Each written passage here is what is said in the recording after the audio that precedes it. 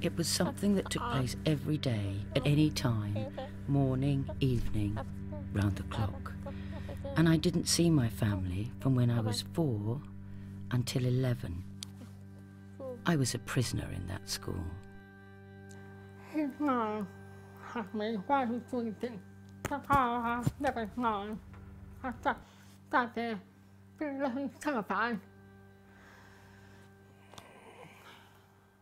Woodford School for the Deaf closed more than 20 years ago. This is the original site. It was the scene of terrible sexual abuse spanning three decades. As adults, 28 of the children abused here were later ready to testify in court against their abuser. But the court case collapsed. For the first time, we hear their story and reveal the identity of their abuser. In 1951, teacher Beatrice Ingall and her husband Eric set up a private nursery for young deaf children in Woodford, East London.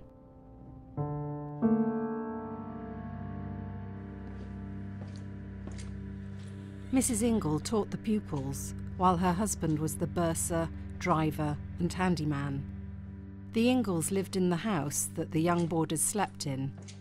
By the late 1950s, Eric Ingall, then in his 30s, had begun to assault some of the children in their beds.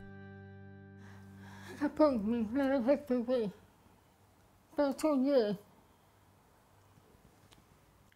When he left, Becky, I found then I started to cry and fractured. Because I thought if I and fractured he was getting more pleasure. He started telling me exactly I just what he was telling me. I was disgusted and I was afraid. He said thank you and walked off. I was afraid and I didn't sleep well after that. He then came again twice a week for a few months. Well, there seems to be a belief among otologists and authorities. Mrs. Ingall, shown here in a 1974 documentary about the school, was actually aware of the abuse, according to Miriam and other former pupils we've spoken to. Mr. Ingall's wife ah. came and she ah. saw and she completely wasn't bothered oh, and left me there with him and went oh. back to her bedroom. The age of children who were abused ranged from 3 to 11. Many were too young to even understand what was happening.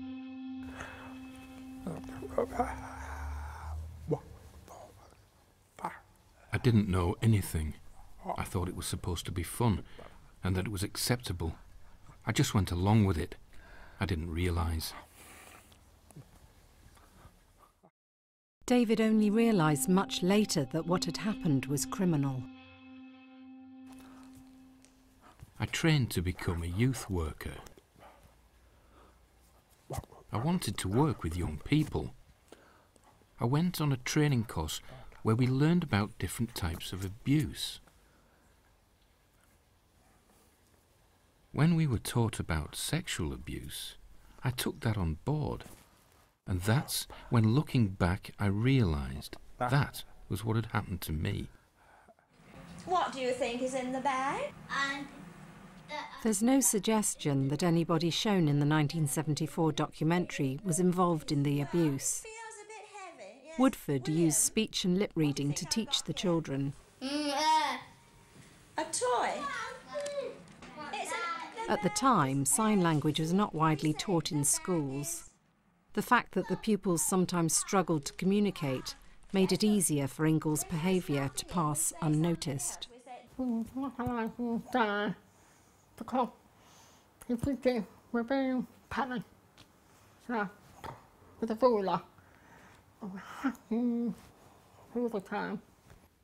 There was a busy road with a playground, and there'd be people walking past.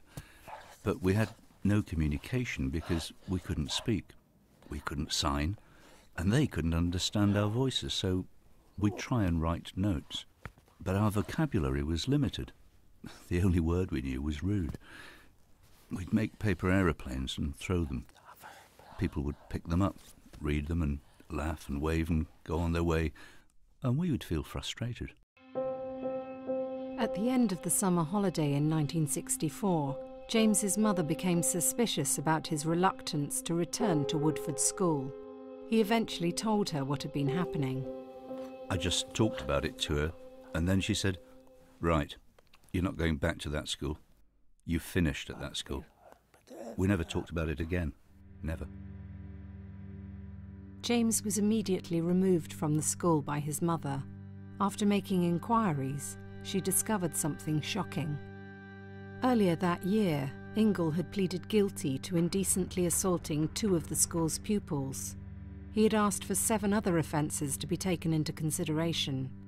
The detective working on the case said Ingall was a man of previous good character, and a former mayor of Woodford had testified in his favour, suggesting that overwork might have caused the lapse.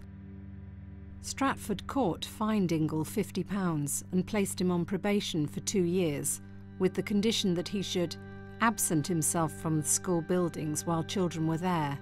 A Freedom of Information request has revealed that the Department for Education also disqualified Ingall from being a proprietor of the school. James's mother wrote to the school to complain and referred to the newspaper article.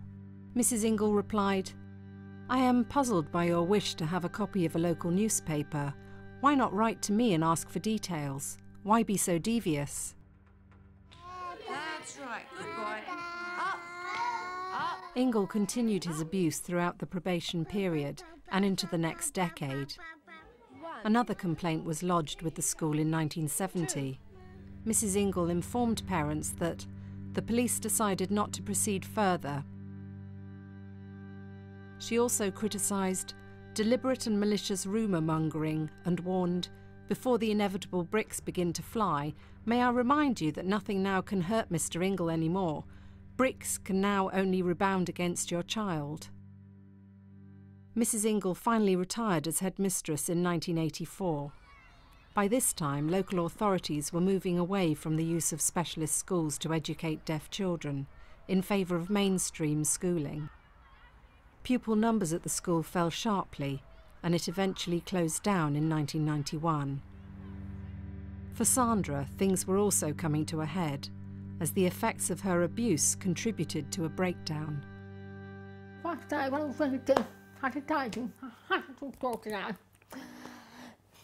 So, because of my relationship with the my mistake me. Sandra's allegations in 1992 were investigated by police, but no action was taken as Ingall, then in his late 60s, was thought to be senile. Another seven years passed before a fresh effort was made to bring him to justice. A group of us rallied together and wanted to bring it up again. We had access to interpreters, therefore, there was better communication. Anne was a child abuse investigator for the Met. She worked on the case for almost five years, including considerable time spent trying to persuade the court that Ingall was fit to stand trial. The case eventually came before a judge in March 2004. On the second day of the hearing, Judge Burr announced that the trial could not proceed. Firstly, he said the length of time that had passed meant there was a paucity of material and lack of available witnesses, many of whom have subsequently died. Secondly, the judge said, I do not wish to criticise the complainants in any way at all, but it cannot be right for people to allow another 15 or 20 years to go by before drawing the attention of the competent authorities to instances of historical abuse. He also cited Ingall's age. We're very happy. I'm very happy. Sorry, back in the bag, been on my surprise, half over bang. So I said, people. Have a phone. I felt angry. So angry. I couldn't believe it. I was lost. I was so angry, so frustrated. it demonstrates a complete lack of uh, empathy and understanding in terms of this of child sexual abuse because he didn't give uh, the survivors their opportunity to tell their story and had he done he would have heard uh, why it's so difficult for a victim to be able to tell uh, uh what's to, to tell someone what's happened to them.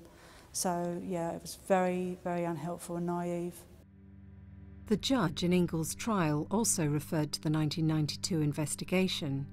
It may be that the situation on an application similar to this one 12 years ago would have met with a different response. Mr. Ingall was only 68 at the time, which is very different from being 80. After the 2004 trial was halted, the witnesses abandoned their attempt to bring Ingall to justice. In 2012, Eric Ingall died. It would be easy to dismiss what happened at Woodford as the product of another era, but concerns around the protection of deaf children remain today.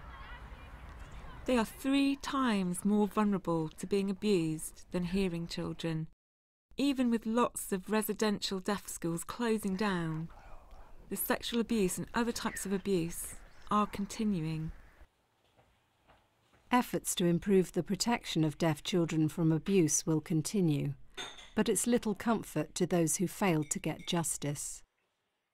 At the time, I find it just very half mine. But the time, I get depressed or happy. Our lives are really spoilt, myself and others as well. Now, I'll tell you, in all my life, I've never had a boyfriend. I'm not married. I hate men. Throughout my life. Because of him.